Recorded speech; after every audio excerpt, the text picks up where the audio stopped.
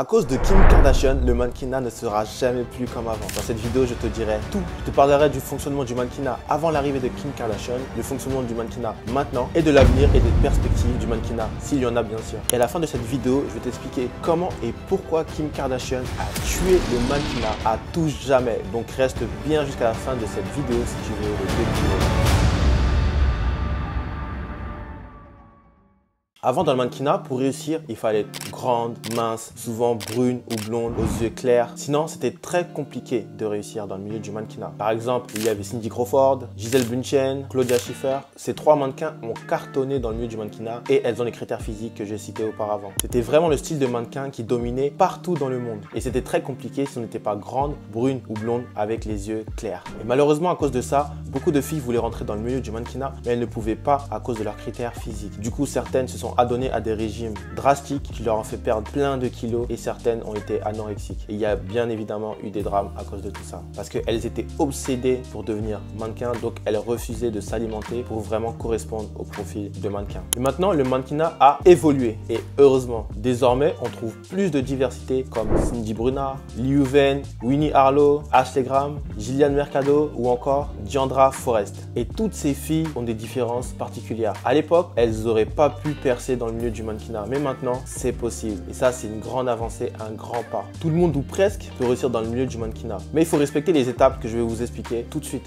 Déjà, il faut savoir pourquoi on veut devenir mannequin. C'est très important. Il y en a qui veulent devenir mannequin parce qu'elles aiment la photo. Ok, tout le monde aime la photo, mais c'est pas une raison profonde qui fera qu'elle va réussir dans le milieu du mannequinat. Il faut vraiment une raison profonde. Je vais vous donner un exemple. Peut-être que tu vas être mannequin lorsque tu étais jeune, dès tu avais euh, à partir de 6 ans, tu faisais des défilés chez toi avec ta cousine, ta soeur, ta tante, vous jouez au mannequin. Et tu as grandi comme ça, tu as continué, tu as eu des amis, vous faisiez pareil le week-end, vous jouez au mannequin. Et tout ça, c'est ancré en toi. C'est vraiment une passion. Tu regardais défiler à la télé, tu essayais de rentrer dans les Fashion Week sur Paris et tu t'es dit un jour, c'est moi qui défilera durant cette Fashion Week là. Donc, c'est vraiment une passion. Donc, c'est ça ton pourquoi. Et là, quand tu as un pourquoi puissant comme l'exemple que je viens de te donner, là, tu pourras réussir. Et bien sûr, ça ne suffit pas. Il faut aussi connaître ses qualités. Si tu ne connais pas tes qualités, comment tu pourras les mettre en valeur Comment les photographes pourront les mettre en valeur et comment les marques pourront également voir ces qualités-là pour les mettre en valeur, pour travailler pour leur marque. C'est très compliqué. Donc connaître tes qualités, c'est quoi? Peut-être tu as un beau sourire, ton visage, tes yeux, euh, tes cheveux, ta silhouette, ton corps, peu importe, mais il faut que tu connaisses vraiment tes qualités pour pouvoir les mettre en valeur. Ensuite, il faut absolument utiliser la méthode 3P. Donc là, tu vas te demander, mais qu'est-ce que c'est la méthode 3P C'est une méthode, c'est ma méthode que j'ai inventée et je vais t'expliquer tout de suite ce que je sais et tu vas voir qu'elle est très puissante. Le premier P, c'est faire des photos professionnelles. Donc c'est super important, tu veux viser le milieu professionnel, il faut faire des choses professionnelles, tout simplement. Donc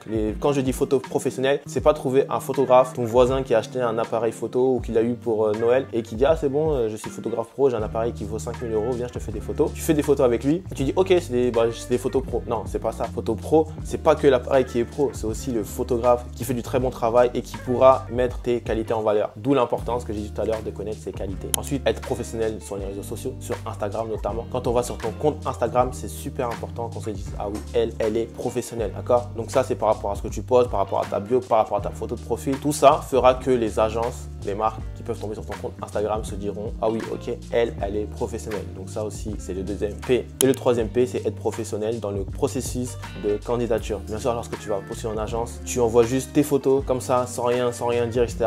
Les agences vont dire Mais c'est qui elle? Qu'est-ce qu'elle fait? Non, il faut envoyer sa candidature de manière professionnelle. Ils vont même pas te répondre, donc du coup, tu vas même pas savoir quel est le problème parce qu'ils n'auront pas le temps, ils vont voir ça regardez, ils vont, pas, ils vont même pas répondre. Alors, ils vont dire désolé, vous ne correspondez pas. en fait, vous allez continuer cette erreur tout le temps parce que tu vas pas forcément savoir quelle est l'erreur que tu as faite. Et en fait, parce que tu n'es pas professionnel dans le processus de candidature. Donc, et là, ça fait totalement la différence. Tout ce que je viens de dire et la méthode 3P, bien sûr, c'est des choses que j'ai appliquées avec des filles qui ont pu signer en France, en Angleterre, en Allemagne, en Espagne, à Dubaï, à Los Angeles, à New York, en Grèce, en Turquie, etc. Et elles ont pu travailler pour des marques comme Louis Vuitton, comme Gucci, comme Mariano, comme La Halle, comme Realté, comme Asos, comme Misguided, comme Missy Etc.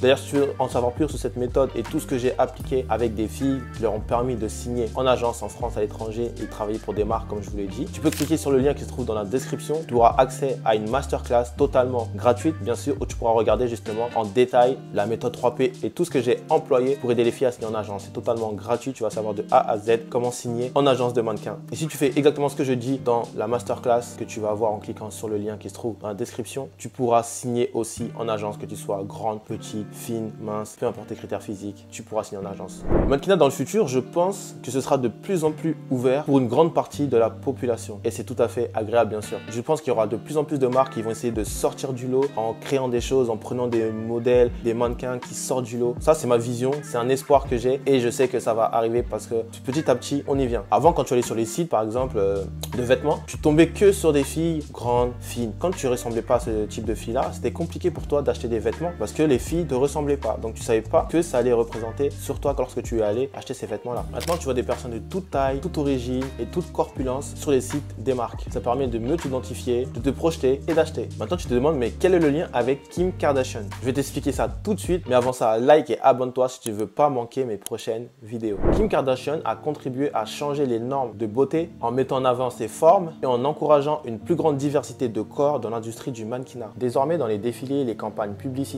les magazines, on retrouve la tendance Kimka, comme je l'appelle. En fait, ils incluent les mannequins avec des formes. Je trouve ça totalement extraordinaire, car avant, beaucoup de filles étaient complexées par leur forme, faisaient des choses dangereuses pour ne plus en avoir. Mais maintenant, grâce à Kim Kardashian, des millions de jeunes filles partout dans le monde ont confiance en elles, même en ayant des formes. Je ne peux que féliciter cela. Merci Kim. De plus, Kim a popularisé tout ça grâce aux réseaux sociaux, notamment Instagram. Qu'on l'aime ou qu'on l'aime pas, Kim Kardashian a influencé des millions de jeunes filles partout et les encouragé à être fières de ce qu'elles sont, ce qu'elles ont et bien sûr de croire en elles. Kim leur a fait passer le message que ce que vous pensez être un défaut est en fait une qualité et ça c'est très puissant. C'est un des messages qu'elle a fait passer, c'est pour ça qu'elle est tant aimée. Le fait aussi de lancer sa propre marque de vêtements, de cosmétiques et de parfums a renforcé ce côté entrepreneur et ce côté on n'est pas obligé d'être grande, blonde aux yeux bleus pour faire des choses extraordinaires dans la vie. Ces sorties lors d'événements comme les Fashion Week font toujours un buzz incroyable grâce à incroyables tenues. C'est l'une des premières à avoir mis ses formes en valeur et bien sûr elle a inspiré de milliers de créateurs partout dans le monde. Ce qui a favorisé l'expansion de mannequins avec des formes dans le milieu du mannequinat. Pour promouvoir ses produits, Kimka promeut la diversité en choisissant des mannequins de différentes origines ethniques pour ses campagnes et ses projets. Kim Kardashian a exprimé son soutien à des initiatives et des projets qui visent à favoriser une représentation équitable dans l'industrie de la mode. Elle a contribué à des campagnes qui font la promotion de la diversité et de l'inclusion et elle a également soutenu des projets qui mettent en avant les talents émergents dans les communautés sous-représentées. C'est vraiment incroyable. Kimka a soutenu et mis en avant des mannequins non conventionnels, défiant ainsi les normes de beauté traditionnelles. Elle a donner une visibilité à des mannequins avec des caractéristiques uniques comme des taches de rousseur, des formes atypiques ou les cheveux naturels, contribuant ainsi à élargir la notion de beauté dans l'industrie du mannequinat. Grâce à Kim Kardashian, le mannequinat ne sera jamais plus comme avant. Elle a ouvert la voie à des millions de jeunes filles et donc pour les filles grandes, fines, qui pensaient continuer à dominer le marché du mannequinat, comme avant, ce n'est plus le cas. Désolé pour vous les filles, hein, mais il y a encore de la place, donc ne perdez pas espoir. Toi qui regardes cette vidéo, tu peux être mannequin, peu importe tu es, peu importe ta couleur de peau, peu importe ta corpulence, peu importe ta taille, peu importe tes différences, grâce notamment à Kim Kardashian. Les défauts que tu penses avoir sont en fait des qualités et des très grandes qualités. Sers-toi de ça pour en faire ta différence comme l'a fait Kim Kardashian. Je sais que tu regarderas cette vidéo Kim Kardashian, donc je te dis merci pour tout ce que tu as fait pour l'industrie du mannequinat et pour avoir développé la confiance en soi à de nombreuses jeunes filles partout dans le monde. J'espère que cette vidéo t'a plu. Like et abonne-toi si tu ne veux pas manquer mes prochaines vidéos.